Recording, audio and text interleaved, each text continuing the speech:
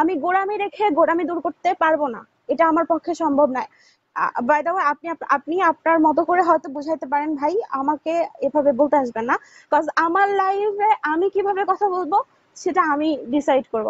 আমি যদি আমার বাবার সামনে এই লাইফটা এখন করতে পারি, আমার বাবার সামনে, আমার বাবা আমার লাইফ শুনছে, আমি যদি এটা কন্টিনিউ করতে পারি দেন আমার মনে হয় না যে এটা নিয়ে আমার আরও অন্যের কাছে আমাকে গোড়ামি করে কথা বলতে হবে। হ্যাঁ আমার কাছে এটা মোটেই মনে হয় না। আর প্রথম কথা হচ্ছে যে আমি ওই আলোচনাটা কন্টিনিউ করতে পারিনি। আমি অবশ্যই এখানে আলোচনা করব, এটা আমার প্রোফাইল যেহেতু। তো এখানে আমি এটা নিয়ে একটুখানি হালকা করে আলোচনা করব যে এই বিষয়টা আপনি বলেছেন, আমার মাথায় এসেছে। এটা এটা নিয়ে আমি কথা বলতাম, হয়তো এভাবে নাও বলতে পারতাম যে একটা মেয়ের সাথে একটা ছেলের ফিজিক্যাল রিলেশনশিপ হবে, সেটা অ্যাকচুয়ালি বিয়ের উপর ডিপেন্ড করে কিনা, বিয়ের ব্যাপারটা মাথায় রেখে কিনা, একদমই না। একদমই না স্ট্রেট ফরওয়ার্ড কথা, একদমই না। আমি আমার মাথার মধ্যে আমার বয়ফ্রেন্ড আমাকে বিয়ে করবে কি করবে না সেটা সেটা ভেবে আমি রিলেশনশিপে আমি রিলেশনশিপে যেরকম যাব না, আমি ফিজিক্যাল রিলেশনশিপেও সেরকম যাব না। আমি কখনো তাকে দাবি করতে পারি না যে তুমি আমার সাথে সেক্স করছ, আমাকে বিয়ে করো। হ্যাঁ ওই ধরনের টিপিক্যাল চিন্তা ভাবনা আমরা আসলেই করতে পারি। যেখানে আমাদের বাংলাদেশের মেয়েরা এখন সম্পর্কে যাচ্ছে, তাদের মধ্যে একটা শারীরিক সম্পর্ক হচ্ছে। আমি আবারও বলছি, শব্দটা নিয়ে যাদের খচখচানি আছে প্লিজ আমার লাইফ থেকে চলে যান। ইউ ক্যান লিভ সো আমার কাছে গোড়ামির কোনো জায়গা নেই। এটাই হচ্ছে কথা। আমার মধ্যে যদি গোড়ামি থাকে, আমি আমার কাছে আজকে একটা গোড়ামি আছে, আমি কালকে বুঝতে পারব এটা আমার গোড়ামি, আমি কালকে সেটাকে আমার লাইফ থেকে বাদ দিয়ে দিব, আমার চরিত্র থেকে সেটা বাদ দিয়ে দিব। যে এই গোড়ামিটা আমি বাদ দিয়ে দিব। যতক্ষণ পর্যন্ত আমি না বুঝতে পারছি, থাকতে পারে। আমার মধ্যে অনেক গোড়ামি থাকতে পারে বাট আমি যখন রিয়েলাইজ করব, ওটা বাদ দিয়ে দিব। তো একটা মেয়ে, একটা ছেলের সাথে ফিজিক্যাল রিলেশনশিপে যাচ্ছে, তো যাওয়ার পরে সে তার বয়ফ্রেন্ড তাকে বলছে যে হ্যাঁ আমার সাথে শো। হ্যাঁ তো মেয়েটা কি করছে? ভাবছে, আমি শোবো কিনা? আমি শুলে ওই ছেলে আমাকে বিয়ে করবে? তার মানে হচ্ছে যে আপনার বয়ফ্রেন্ড আপনাকে দাবি করেছে। আপনাকে দাবি করেছে যে আপনার আপনার সাথে শুতে হবে তার আপনি প্রেম করেছেন, আপনার সাথে এখন শুতে হবে। একটা সম্পর্কে আছেন আপনারা, আপনার প্রতি সে সেক্স ফিল করতেছে হ্যাঁ তার মধ্যে, তো আপনি তার সাথে শুতে হবে। ব্যাপারটা হচ্ছে এরকম, তাই না? তো এই শুতে হবে, এটা আপনি কেন ভাবছেন যে আমাকে শুতে হবে? শুতে হবে, কারণ ও আমার কাছে দাবি করছে কজ ও আমার বয়ফ্রেন্ড তো যখন এই দাবি আপনার কাছে মনে হচ্ছে এটা একটা দাবি, তখন আপনি একটা পাল্টা দাবি করছেন। পাল্টা দাবি হচ্ছে কি যে, যেহেতু তুমি দাবি করছ আমার সাথে তুমি শোবে, তো আমার দাবি হচ্ছে তুমি শুলে আমাকে বিয়ে করতে হবে। ব্যাপারটা ঠিক এভাবে কাজ করছে। মেয়েদের মাইন্ডের ব্যাপারটা এভাবে কাজ করছে। আসলে এটা ঠিক কিনা? এখন আমার কথা হচ্ছে যে, আসলে এটা ঠিক কিনা? বা আমরা আসলে ঠিক চিন্তা বা সুস্থ চিন্তা করছি কিনা? না, মোটেই না। আমার কাছে মনে হয় না এটা একটা সুস্থ চিন্তা। সেক্স নিয়ে আপনি এই ধরনের কনফিউশনের মধ্যে থাকবেন না। কারণ সেক্স হচ্ছে ভাত খাওয়ার মধ্যে একটা জৈবিক চাহিদা।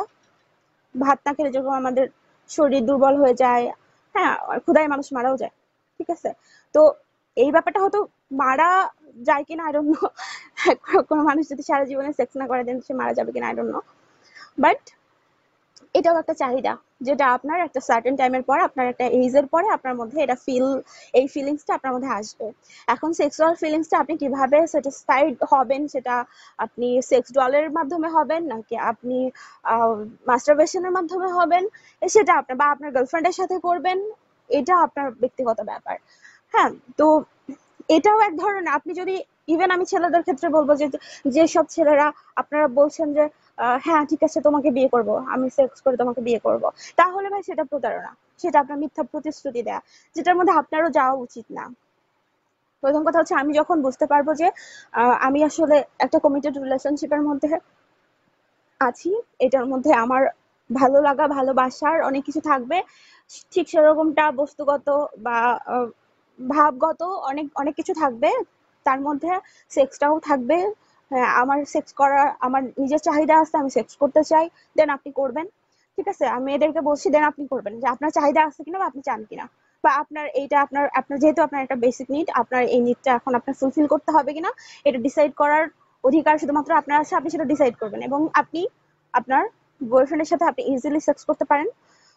কিন্তু কোনো দাবি রাখবেন যে সেক্স করলে একটা মেয়েকে বিয়ে করতে হবে বা একটা ছেলেও দাবি করতে পারে না যে একটা মেয়ে তার সাথে সেক্স করছে দ্যাটস ওয়াই তাকে বিয়ে করতে হবে। ব্যাপারটা একেবারেই খুবই ফালতুমি ওকে তো এটা থেকে, এই চিন্তা ভাবনা থেকে আমরা যখন বেরোতে পারব, তখন আমাদের বাংলাদেশের মানুষের মেন্টালিটি আমাদের বাংলাদেশের মেয়েরা প্রতারণার শিকার হওয়ার যে মানে ইয়াটা বা আমাদের সমাজের কিছু ট্যাবু আছে যে, আমরা যখনই দেখি যে একটা ছেলে একটা মেয়ের সঙ্গে রিলেশনশিপ দেন ওই ছেলেটা সাথে লং টাইম একটা রিলেশনশিপ তার সাথে শুচ্ছে বা তাদের বাড়িতে যাচ্ছে বা যাই হোক, এই ধরনের, এই ব্যাপারগুলো যখন মানে আমরা দেখি সমাজের মানুষ থার্ড পার্সন আমরা যখন দেখি, তখন আমরা কি ওই মেয়েটাকে আলাদাভাবে দেখি? যে ওই মেয়েটা তো বয়ফ্রেন্ডের সাথে সেক্স করছে ইভেন আমি ছোটবেলায় যখন আমার, আমিও আমিও আশেপাশে শুনতাম যে ও এরকম যে আমার বান্ধবী, তার বয়ফ্রেন্ডের সাথে শুইছে বা তার বয়ফ্রেন্ডের সাথে সেক্স করছে দেন ওই বিষয়টা আমার কাছেও খুবই একটা, একটু গার্গিট কিনে লাগতো। তখন আমি খুব ছোট, ধরেন টিনেজ একটা বয়স, তখন আমার মধ্যে ওটা কাজ করতো যে, ও মা ওই ওই মেয়েটার সাথে প্রেম করে, সব হয়ে গেছে। মানে ব্যাপারটা হচ্ছে এরকম সব হয়ে গেছে। মানে ও আচ্ছা ওর বয়ফ্রেন্ডের সাথে ও সব হয়ে গেছে। মানে এই বিষয়টাই যেন আমার কাছে একটু একটু অন্যরকম লাগতো। আসলে অন্যরকম লাগাটা উচিত না। যখন আমার কাছে অন্যরকম লাগবে, তখন ওই মেয়েটা ডিসাইড করতে পারবে না যে সে অ্যাকচুয়ালি সেক্স করতে যাবে কিনা বা সেক্সুয়াল লাইফটা তার বয়ফ্রেন্ডের সাথে কখন মানে ক্রিয়েট করা উচিত কি উচিত না। তখন তার মধ্যে এই বিষয়গুলো কাজ করবে যে, যেহেতু সমাজের মানুষ এই বিষয়টাকে নেগেটিভ ভাবে দেখছে, তখন সমাজে দেখবেন যে পুরুষের জন্য অনেক কিছু কিন্তু মানে কি বলে, জায়েজ।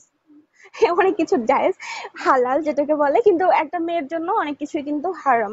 মানে একটা ছেলে দশটা মেয়ের সঙ্গে শুয়ে আসতে পারে, তারপরে সে দাবি করে একটা ভালো ভার্জিন একটা মেয়ের সঙ্গে সে বিয়ে করবে।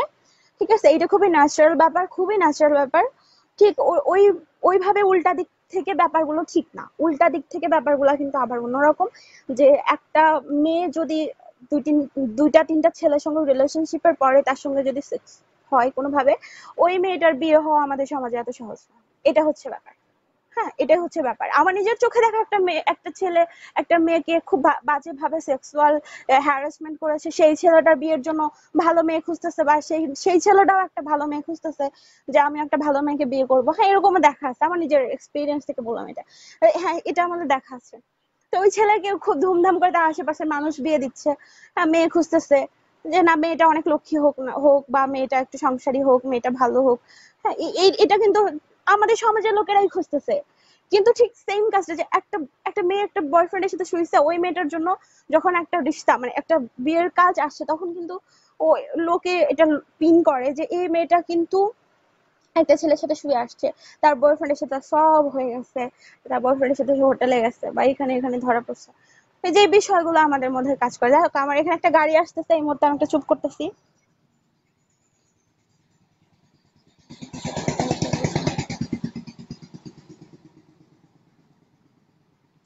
এই যে রাসেল আহমদ বলছে যে, কি বলছো? হ্যাঁ কি বলছি ভাই? খুব খারাপ লাগছে কথাগুলো শুনতে। ভীষণ খারাপ লাগছে। আমাদের দোষী এটা, আমাদের চরিত্র এটা, আমরা বাঙালি, এটা হচ্ছে বাঙালি চরিত্র।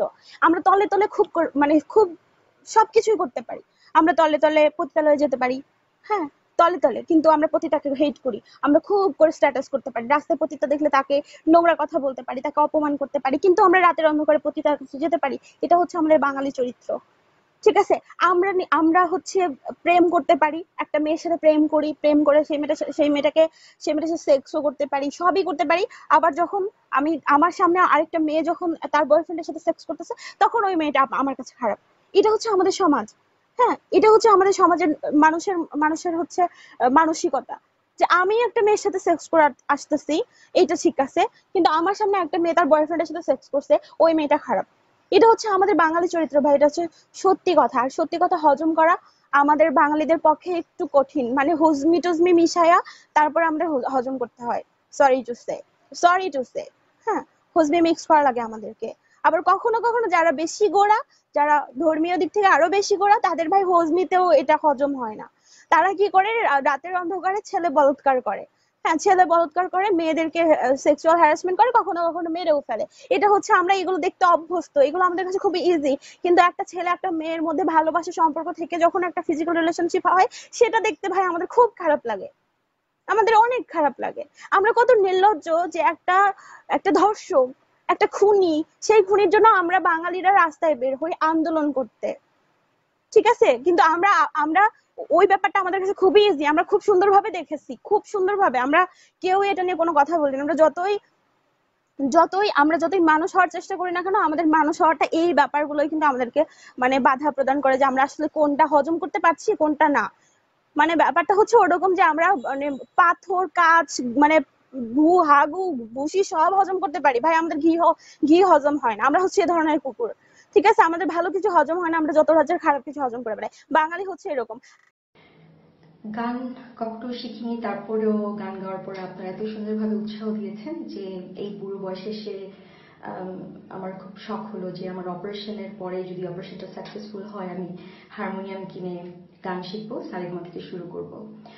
যাই হোক তার আগে আমার এই হেরি গলার গানই আরেকবার শোনাচ্ছি। গানটি আপনাদেরকে ডেডিকেট করছি যারা আমাকে উৎসাহ দিয়েছেন। আর গানটি আমি আমার ছেলেবেলার বন্ধু ফুয়াদকে ভেবে গাইব, যে অ্যাক্সিডেন্টে মারা গেছে।